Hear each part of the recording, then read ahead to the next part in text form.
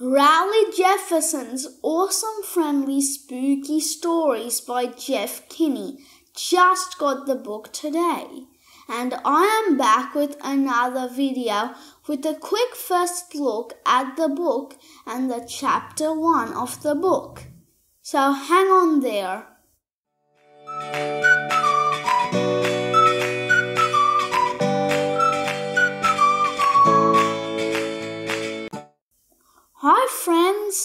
Welcome to my channel Amazing World of Archee. In this video I'm going to share a quick first look at the book Awesome Friendly Spooky Stories, the third book of the Rowley Jefferson's Awesome Friendly Kids series. Before we begin, in case you have not subscribed yet, please subscribe and hit the thumbs up. Also, don't miss the video on the Diary of a Wimpy Kid Book 16. I'll leave a link in the description below. Now let's get on with the book Rowley Jefferson's Awesome Friendly Spooky Stories. You must have already seen the cover of the book, which was released earlier this year. Now let's take a look inside the cover. Rowley Jefferson's Awesome Friendly Spooky Stories by Jeff Kinney.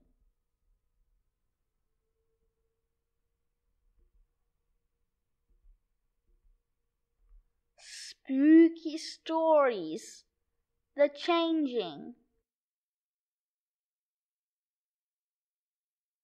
The Prankster Ghost friend. The biter. The human head. The scanner.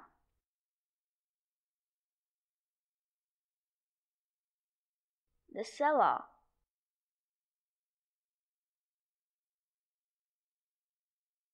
The nap.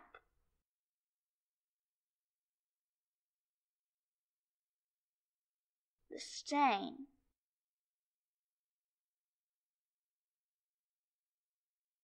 A mummy.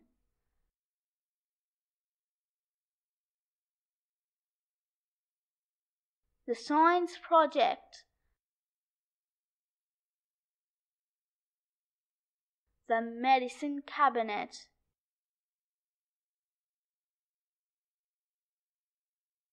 The invasion, the demon.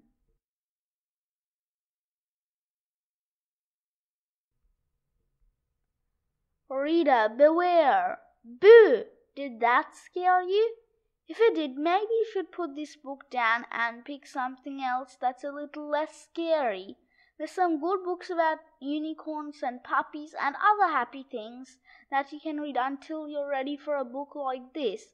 But if you like stories about skeletons and zombies and human heads, then crawl under the covers and turn the page. And if you get too scared, then you can always sleep in your parents' bed. But please don't tell them the reason you got spooked, because I really don't want them to be mad at me. I warned you. The Changing There once was a boy named Rowan, and Rowan was a happy child. He had two parents who loved him very much, and he had lots of toys to play with. Sometimes Rowan would bring his toys to school and play them at recess, but he stopped doing that after he got bullied by some jerks. Kick! Grow up, you baby! That made Rowan sad because he thought playing with toys was the best thing about being a kid. But Rowan's classmates didn't feel the same way, and they were always trying to act older than they really were. One day when Rowan was in class he felt a strange tickling sensation under his armpit. He didn't know what it was, so he asked his teacher Mrs. Pennington if he could please be excused to use the restroom. When Rowan got to the restroom, he took off his shirt and was shocked to see a single hair growing from the center of his armpit. Rowan didn't know what to do, so he put his shirt back on and returned to class.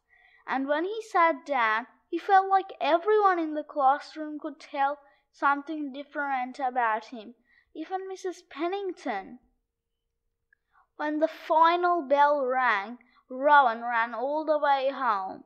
He knew his mother kept some tweezers in the bathroom, and he couldn't wait to pull, use them to pull out that hair. But when Rowan took his shirt off, he could see it was too late for tweezers.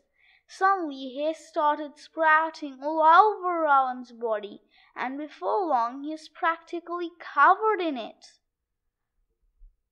By now Rowan was totally panicking. He went through his parents' bathroom cabinet to see if there was anything that might help, and he found something he thought would do the trick. Hair remover. But there's a reason kids shouldn't go poking around in their parents' bathroom cabinets. Because two seconds after Rowan opened the bottle, he passed out from the fumes. Faint. When Rowan woke up, he was in his bed. At first he thought maybe the whole thing with the hair was just a bad dream, but one look at his arm told him it wasn't. Rowan.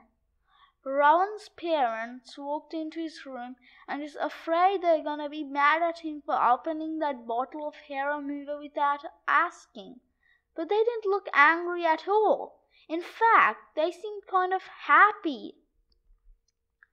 Rowan's parents said they'd been waiting for this day for years, and it was time for them to have their talk. Rowan thought they'd already had the talk when his parents told them how babies were made, but they said this one was a totally different talk. His parents said sometimes when a child turns a certain age, their body starts to go through a changing and that made Rowan sad as he liked himself just the way he was.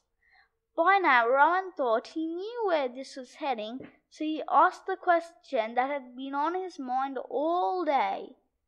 Am I becoming a man? Well, that made Rowan's parents laugh and laugh, and Rowan felt embarrassed because it took them a long time to stop laughing. Ha ha ha ha ha ha ha ha. After Rowan's dad wiped the tears from his eyes, he said Rowan was still a boy, but he was a different kind of boy. And when Rowan asked what he meant by that, his dad gave him some bad news. You're a werewolf, son. This was definitely not what Rowan wanted to hear. But when Rowan's mom saw the worried look on his son's face, she said this was a day to celebrate. Rowan's parents told him he came from a long line of werewolves, and suddenly the pictures on the staircase wall made a lot more sense to Rowan. Then Rowan's parents gave him some more bad news. They said they were both werewolves too. Rowan started remembering clues growing up that should have told him his parents were werewolves, but he guessed deep down he didn't want to admit the truth. Aroo! Then Rowan started crying. He said he just wanted to be a regular kid and have a normal life.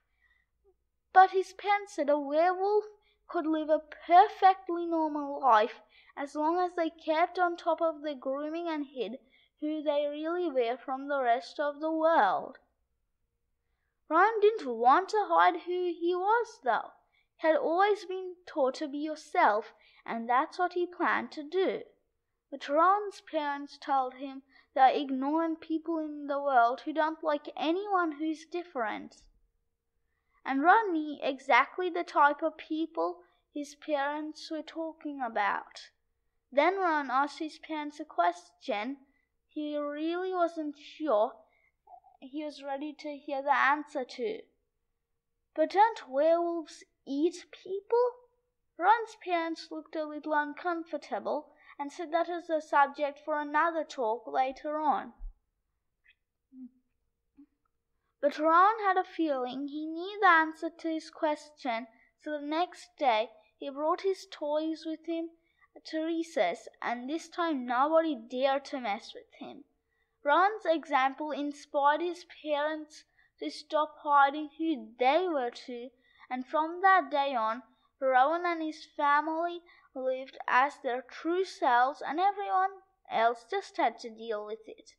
Aroo!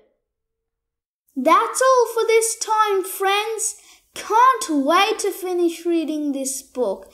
Get your copy of the book, Awesome Friendly Spooky Stories by Jeff Kinney, as soon as you can and stay tuned to my channel, Amazing World of Archee, for more updates. Bye for now.